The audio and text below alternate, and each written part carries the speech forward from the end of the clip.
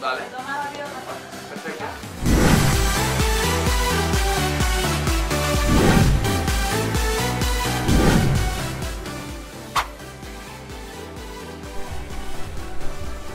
Conde de Godó. Sí. Eh, traumatología, creo.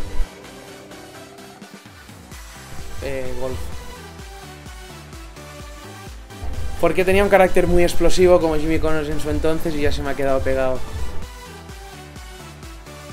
Si me tengo que quedar con un libro me quedo... Bueno, el último que leí me gustó mucho, que es Outliers. Rafa Nadal. Y me gustaría, si puede ser que sea de exhibición, porque para perder. Tortilla de papa.